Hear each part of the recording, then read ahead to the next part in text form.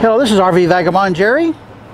And today I'm going to take the 1880 steam engine train on the Black Hills Central Railroad from Hill City to Keystone, South Dakota. It's about a 10 mile train ride and it takes about an hour to get there. So I'm leaving at 10 a.m., get there at 11, and then I'm going to have about three hours to walk around and see the things to see in Keystone. Then at 2.30, the train loads up and comes back to Hill City. So this is going to be an unusual day for me. I've done this a few times before. So hop on board the train with me and I'll show you some sights along the way and then some sights in Keystone.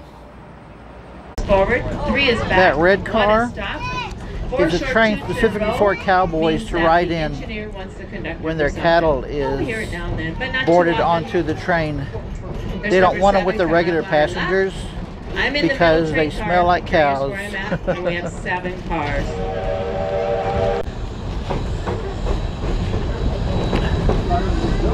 As we leave Hill City and enter the Black Hills National Forest, note the markers lining the tracks along our journey. The black and white markers are milepost signs, area roughly the size of Delaware. Half of that is the Black Hills National Forest. The entire mountain range spans about 120 miles from the southern tip to the north and about 60 miles east to west. Hill City is almost at the exact center. As a junction point for the railroad to Deadwood. During and after World War II, lithium was mined south of town and was used in nuclear power plants across the country. The lumber industry still thrives here, and thanks to the completion of Mount Rushmore in 1941, so does tourism. Season, which happens to be right now. So everybody please do be careful with anything on fire. I know it looks pretty green, but we're awfully dry.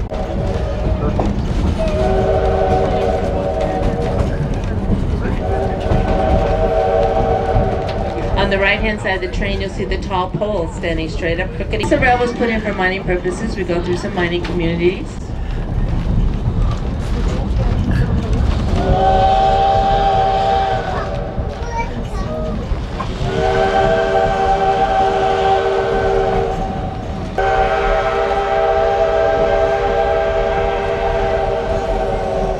There's a lot of private along our route because it was put in for mining purposes, and these would have been mining claims.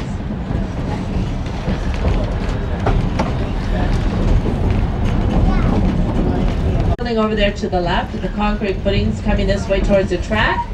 That's the side of the Good Luck Tungsten Mine. We're going to cross the road again, and we're going to be in Palmer Gulch. If anybody's at the KOA on Highway 244,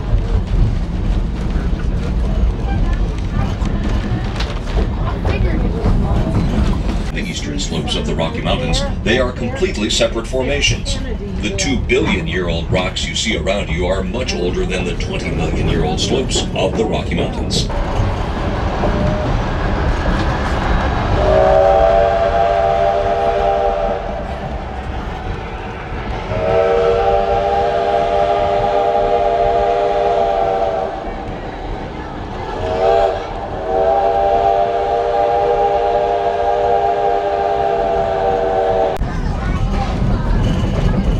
Next place we're going to get to here is Rick Mills. Rick Mills is the curator of the South Dakota State Railroad Museum. It's located in our train yard right at the end of it informed Battle Creek, which we'll go over beside on our way down to Keystone.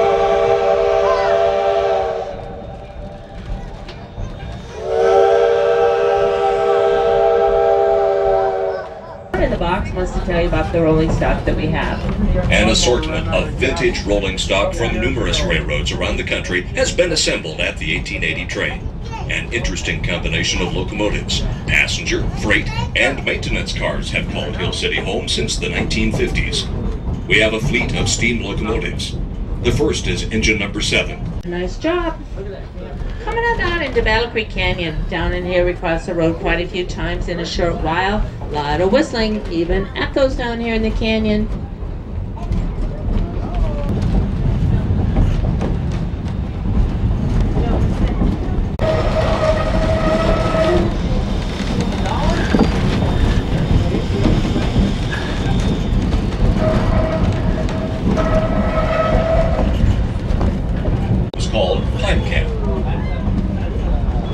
The blue plastic is a large slip and slide. They put the hose at the top and the dish soap and they slide down the hill. I bet later today all those kids, I bet they'll be doing that. Camp is used year round, more so in the summertime, if I'm up where they're built. But you'll notice how the rocks have a little bit of a sparkle to them. The sparkle in the rocks is due to mineral called cassiterite, columbite, and tourmaline. A massive sheet metal structure was built here in the 1980s to reprocess the waste dumps of the Ingersoll mine.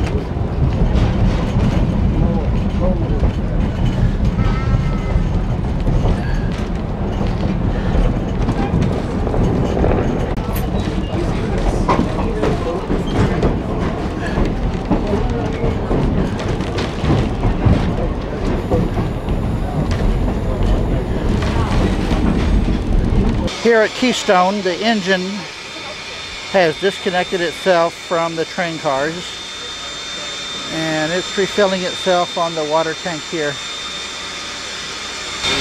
So now I'm going to walk around town and see what there is to see in Keystone.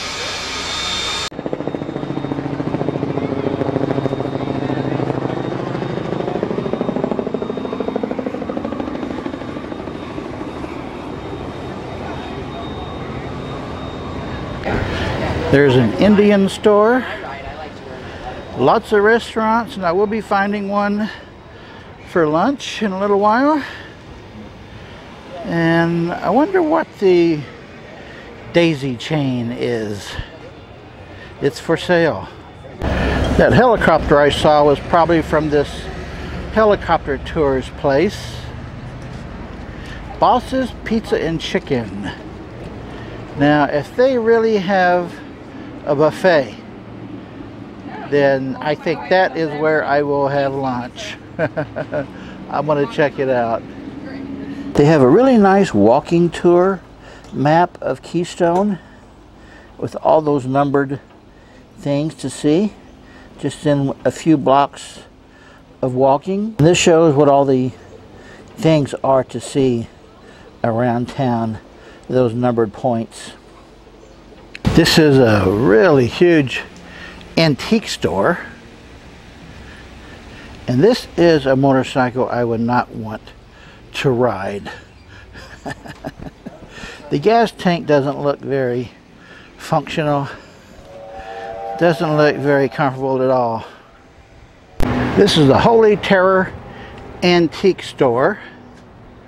Here's some more things they have out front. Yeah, that's quite an antique.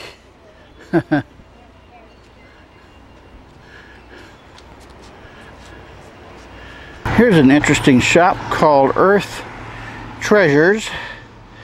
Sorry, we're closed. And they have spoon rings. if you know what that is, then you know more than I do about it. I like this. Land of the free because of the brave. And I've missed the Holy Terror Days Parade. I bet that was fun back then. This store has been here since 1895. And as a bonus, they have clean restrooms and free Wi-Fi. Everything else is antique. Here's an old cabin they kept in good shape. These guys are still working on maintaining it. Here's a photo op in front of the Big Thunder gold mine sign.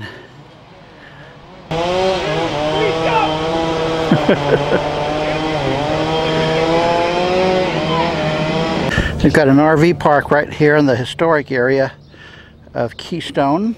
And by the way, the elevation here is about 4,300 feet. And it got really nice and cool last night. I didn't even need my air conditioner at all. My bedroom cooled down to 72 degrees by midnight, which is nice.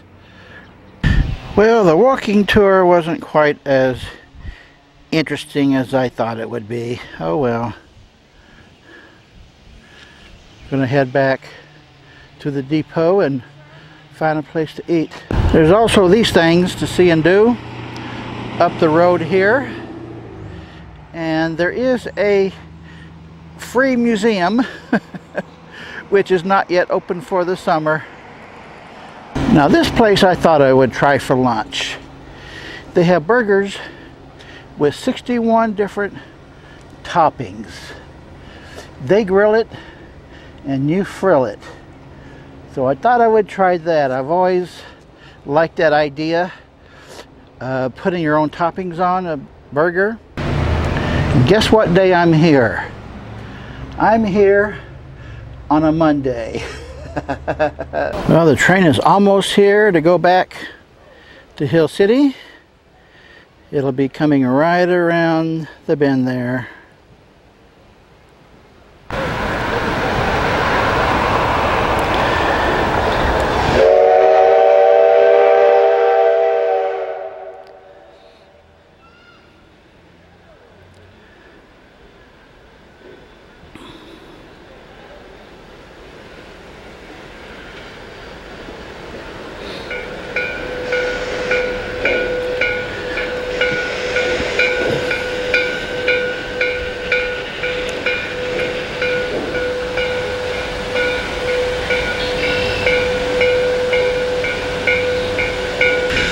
It only goes about 10 miles an hour top speed, I think.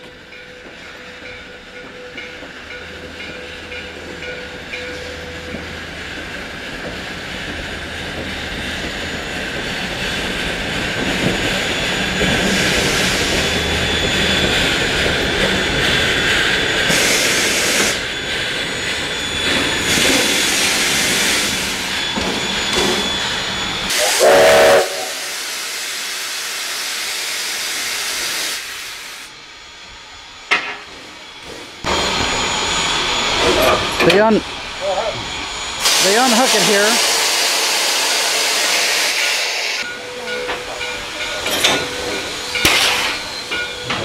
And they take it down further to where they have that water tower and then add more water to their tanks there. Now I notice that there is no place for the engine to turn around. There's no turntable, which you normally see. So I think the engine is going to go down that right track there, go to the front of the train, but he's going to have to run that engine backwards all the way back down to Hill City. As the train pulls out of the station, look around at the granite peaks and thick ponderosa forests that surround you. An army expedition led by George Custer turned up gold a few miles south of here in 1874. Within months, there were thousands of miners, mule skinners, vidals, gunslingers, and gamblers swarming across the landscape, eager to get their hands on some of the shiny yellow metal. The community of Keystone, like many towns in the Black Hills, tracks along our journey. The Black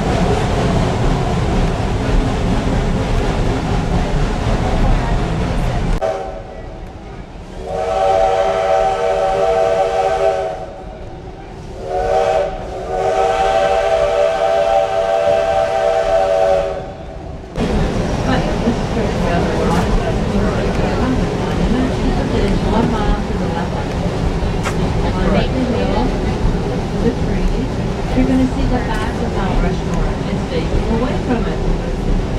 No, the back of it doesn't look at you.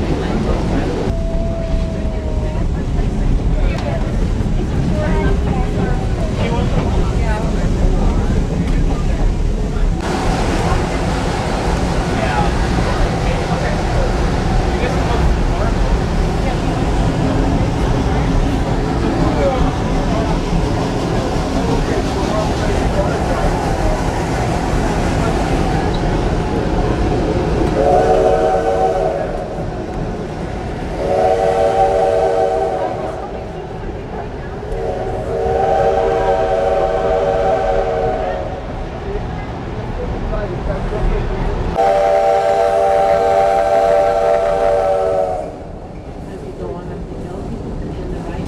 The following year, the train was used in Walt Disney's Scandalous John.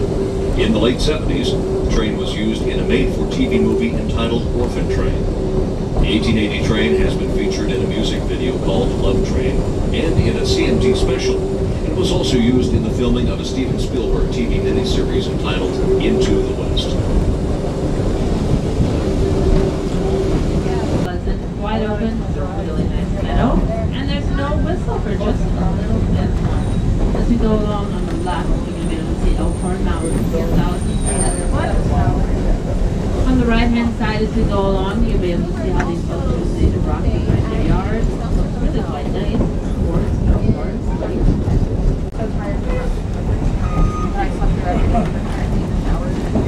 Cars number 112, number 125, and number 65 are respectively named Oreville, Keystone, and Edward Gillette. The America's accessibility to all passengers. Car number 144, Redford, was originally built as a baggage car. The Oregon Electric Railway converted it to a passenger coach in 1915. It was modified as an observation coach for the Black Hill Central in 1998. Coach number 140, Mystic, was also rebuilt as an observation car in 1999.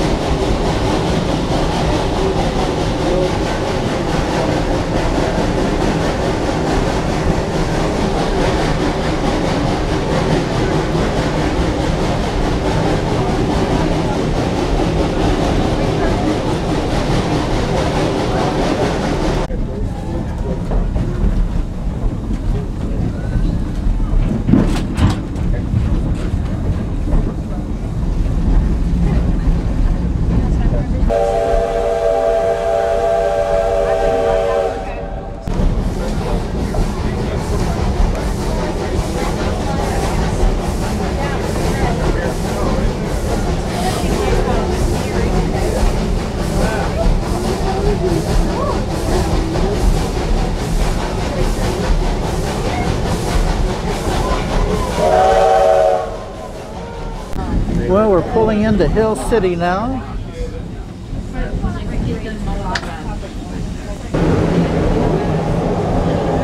Slow down. Slow it down.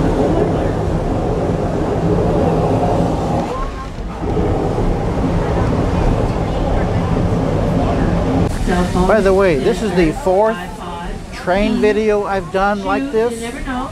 but One in. Texas, one in Branson, Missouri, one in Silverton, Colorado, and this is my fourth. Folks, I hope you've enjoyed the train ride. And here we're pulling into the depot. And right here next to the Hill City Depot, we have the South Dakota State Railroad Museum. So if you're really into trains, you'd like that as well. Hope you enjoyed the video. Please let me know. Good day, folks.